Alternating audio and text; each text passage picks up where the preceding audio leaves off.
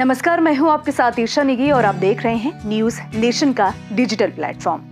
कलाई पर रेशमी धागा बांधने वाला त्योहार इस बार 11 से 12 अगस्त को मनेगा। लेकिन क्या आपको पता है कि ये रेशम बनता कैसे है और आता कहाँ से है? इस सवाल का जवाब आपको झारखंड में मिलेगा।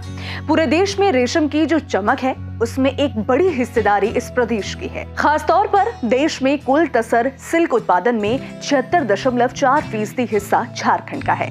तसर सिल्क की खेती, उत्पादन और कारोबार में पूरे देश में तीन लाख पचास हज़ार लोग जुड़े हैं और इनमें से दो लाख बीस हज़ार लोग अकेले झारखंड के हैं। यहाँ का तसर सिल्क देश के अलग अलग हिस्सों के अलावा लगभग दस देशों में पहुँचता है। दरअसल इस प्रदेश की आबोहवा तसर रेशम के कीड़ों के पालन प्रजनन के लिए सबसे अनुकूल है। इसके लिए सामान्य तौर पर 30 डिग्री सेल्सियस तापमान की ज़रूरत होती है। और झारखंड के ज़्यादातर इलाकों की अगर बात की जाए तो साल के तीन सौ पैंसठ दिनों में 175 से 180 दिनों तक तापमान इसी के आसपास रहता है। तसर रेशम के कीड़ों की पैदाइश के लिए अर्जुन, आसन और साल के पेड़ सबसे ज़्यादा उपयुक्त माने जाते हैं। और झारखंड में ये पेड़ बहुतायत में है।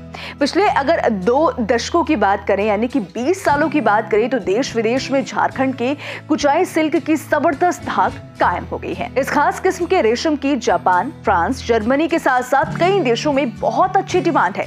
झारखंड में रेशम के उत्पादन में जुटे लोगों को सबसे ज़्यादा तकनीकी मदद केंद्रीय रेशम बोर्ड से मिली है। मुख्यमंत्री हेमंत सोरेन ने बीते हफ़्ते रांची में वर्ल्ड ट्रेड सेंटर की आधारशिला रखते हुए ये उम्मीद जताई है कि सेंटर के ज़रिए हमारी धरती पर उत्पादित होने वाले तसर सिल्क की चमक और दूर तक फैलेगी।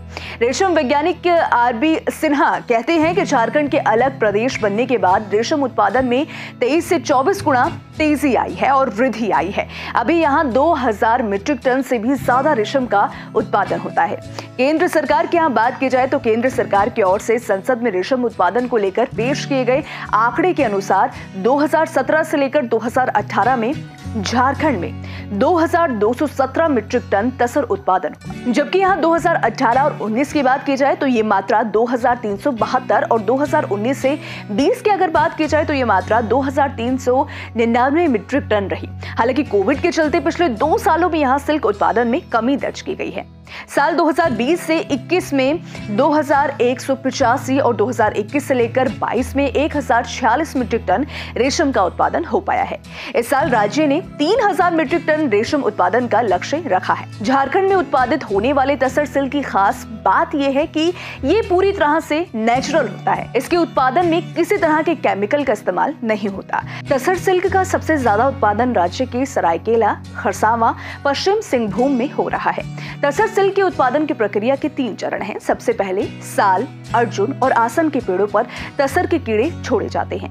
दूसरे चरण में ये निर्धारित समय में कीड़े कोकून की शक्ल धारण करते हैं। और तीसरे चरण में कोकून की प्रोसेसिंग कर धागा निकाला जाता है। तसर की खेती ने झारखंड के जनजातीय इलाकों में दो लाख से ज़्यादा लोगों को एक हद तक आर्थिक आत्मनिर्भरता दी है। इतने नहीं, झारखंड के कई इलाकों में अहिंसा सिल्क का उत्पादन किया जा रहा है। अहिंसा सिल्क तैयार करने के लिए कोकून के अंदर पाए जाने वाले कीड़े को मारने के बजाय से प्राकृतिक तरीके से तितली बनकर उड़ने दिया जाता है।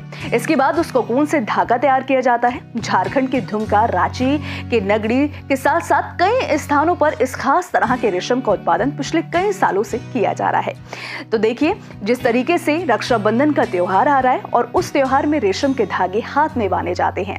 अब आपको पता चल गया होगा कि ये रेशम के धागे कैसे बनते हैं और किस तरीके के ये धागे झारखंड में पाए जाते हैं। इस वीडियो में फ़िलहाल इतने ही। अगर आपको हमारे वीडियो पसंद आया हो तो वीडियो को लाइक, शेयर करना मत भूलिएगा। साथ ही हमारे चैनल न्यूज़ नेशन को सब्सक्राइब कर लें और बेल आइकन को प्रेस करना ना भूलें ताकि जब भी कोई नई अपडेट आए तो आपको तुरंत नोटिफिकेशन मिल जाए।